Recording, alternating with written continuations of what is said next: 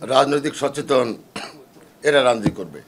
এইখানে আমার ক্লাস আমি দেখি রাজনৈতিক যারা সচেতন, অভিজ্ঞ, রাজনৈতিক চর্চা করে, রাজনৈতিক ভাষা জানে, তারা রাজনীতিতে নাই। রাজনীতিতে আছে, কি বলে, কচিকাচার দল। সেখানে তো আমি অ্যাডজাস্ট করতে পারি না, সাতাত্তর বছর বয়স হয়েছে, এবার নির্বাচন গেল না। আর কবে নির্বাচনে যাবে গড নোজ তো in the meantime in the meantime আমাকে to be very straight offer দেওয়া হলো, আপনি ইলেকশন করেন। তো আমি বললাম যে কীভাবে ইলেকশন করব? আমার দল তো করে না। বলে যে আপনি নিরপেক্ষ নির্বাচন করেন। আর নিরপেক্ষ নির্বাচন কিন্তু কোনো পক্ষই না। কারণ আমার কনস্টিটুয়েন্সিতে আনি পর্যন্ত দশ আনি। সে sixty percent BNP forty percent Awami League. তা আমি যদি নিরপেক্ষ যাই ফর্টি পার্সেন্ট আওয়ামী লীগ তো আমাকে একটা ভোটও দেবে না।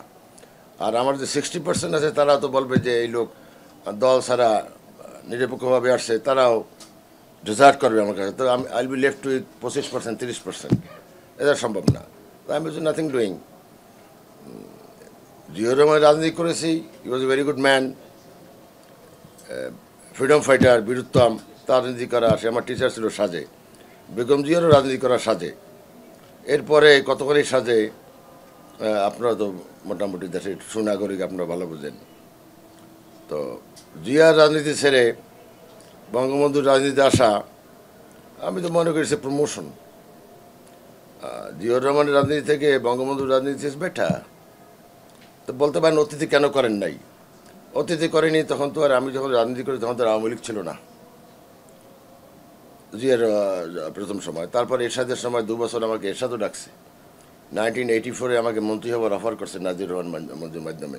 কিন্তু এরশাদের দলে আমি যাইনি। সুতরাং এইটি সিক্স এবং এইটি এইটে নির্বাচন আমি করিনি।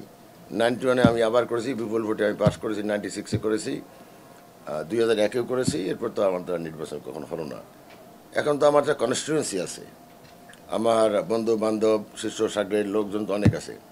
তাদেরকে দুই হাজার ছয় থেকে টুডে তেইশ, সতেরো বছরে I could not note anything এরা বিভিন্ন মামলা, হামলা, জর্জরিত এটা, সেটা, বিভিন্নভাবে বিভিন্ন অপোজিশন তাকে যা ডিপ্রাইভড তারা তো ডিপ্রাইভড হয়েছে আমার কারণে বিকজ আমি তাদেরকে ধরে রাখছি। এখন এদের কি আমি কি বুঝ দেবো? তা ভাবলাম যে অন্তত কনস্টিটুয়েন্সির স্বার্থে